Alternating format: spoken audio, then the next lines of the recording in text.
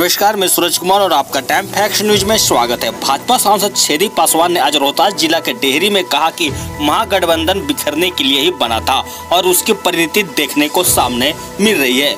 वहीं उन्होंने आज डेहरी में कहा कि यह विधानसभा चुनाव 15 साल के कुशासन तथा 15 साल के सुशासन के बीच होने जा रहा है। जनता ने तय कर लिया है कि वह सुशासन को चुनने जा रही है। उन्होंने एनडीए को लेकर बयान दिया कि हर दल की कोशिश होती है कि वह ज़्यादा से ज़्यादा सीटों पर लड़े लेकिन सभी मुद्दों को सुलझा लिया गया है और एनडीए में सब कुछ ठीक ठाक चल रहा है। तो ये देखिए इसकी पूरी खबर। रोहतास ज़िले से हमारे संवाददाता राहुल मिश्रा के साथ। जिस पार्टी में एनडीए में है। हम लोगों का कहीं कोई विरोध नहीं है। हल्का फुल्का है, है तो समाज समाज हो जाएगा और रही, रही बात पुराना महागठबंधन राजद का गठबंधन जो है उसमें लोग भगदड़ बजा रहे हैं, जितना कारण की मन मुताबिक उनको टिकट नहीं मिल रहा सीट नहीं मिल रहा है। इसलिए चाह रहे हैं कि हम ज़्यादा से ज़्यादा सीट लें और दूसरी पार्टी में जा रहे हैं।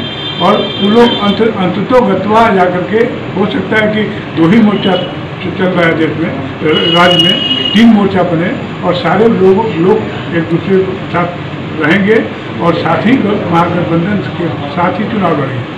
इसके अलावा कोई विकल्प नहीं है, कोई इधर भाग रहा है, कोई उधर भाग रहा है, और जो महागठबंधन है, वो तो बिखरने के लिए ही बनता है। बिखरना है, आज नहीं, कल उनको बिखरना ही बिखरना है।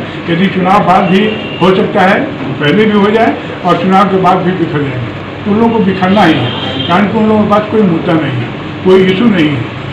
राजहित में वो कोई काम नहीं करने वाले लोग। इसीलिए हम पहले बोले कि पंद्रह वर्ष का सुशासन और पंद्रह वर्ष का सुशासन के बीच में लड़ाई होनी जा रही है और इसमें सारा महागठबंधन जितना है वो सब समाप्त हो। एनडीए में चिराग पासवान भी भवन तैर रहे हैं क्या कहेंगे?